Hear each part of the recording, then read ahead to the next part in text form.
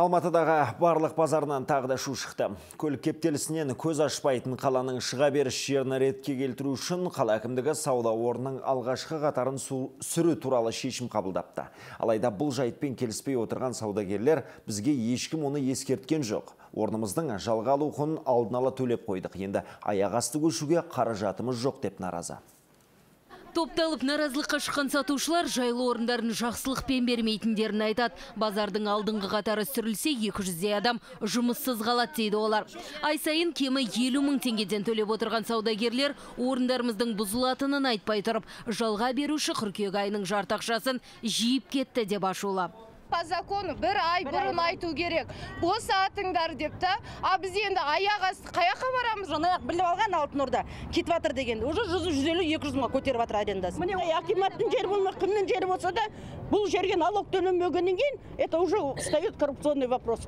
Мына жердің арендасын налоговыйға төлеп кассовый аппаратпенен қолдарына чек бермегеннен кейін оның ақшасы қайда кетіп жатыр? Значит они его делят между собой. Ал барлық басшылығы елу сегіз орынды сүріп мемлекет меншігін шетелдегі аймақты босату туралы жерді пайдалану мен қорғауды қадағалау басқармасының бұйрығы 15 тамыз күні түскендігін айтады.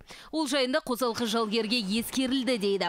Базар басшылығы бұл жұмыс іске асса қоғамдық көлікке арналған арнайы жолақ сызуға орын босап қозғалыс жеңілдейді деп отыр. Ал сатушыларға олар артқа шегінетін базардың алдыңғы қатарынан жаңа орындар беруге даяр.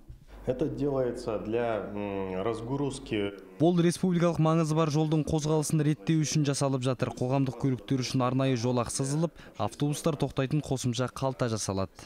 Арнамызға арнайы келіп түсінік берген қосалқы жалгер аталмыш жер бастапқыда Алматы облысына қараса қазір қалаға кіргенін хабарлады. Құжаттың өзгеруіне байланысты 580 шаршы метрді алып жатқан телім бұдан былай базарға емес қала әкімдігіне тиесілі екен. Сондықтан оны босатуға мәжбүрміз дейді ол. Кәсіпкер осыдан 3 жыл бұрын сауда орындарын тұрғызу үшін 250 мың доллар шығындалып, бұл ақшаны әлі күнге дейін өтей алмағандығын ашына жеткізді. Государство егер маған возмещать етсе хотя бы материалымды или бірдеңкені мен халыққа бір ай емес үш айға беретін. Дұрыс қой. А қазір мен өзім минусқа попадаю өзім как инвестор ретінде как вкладчик ретінде өзім попадаю а мен қалай не үшін беруім керек халыққа?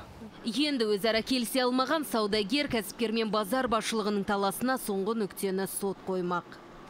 Жанар жолтаева самвел седракян владислав петров информбюро бірінші арна алматыдан.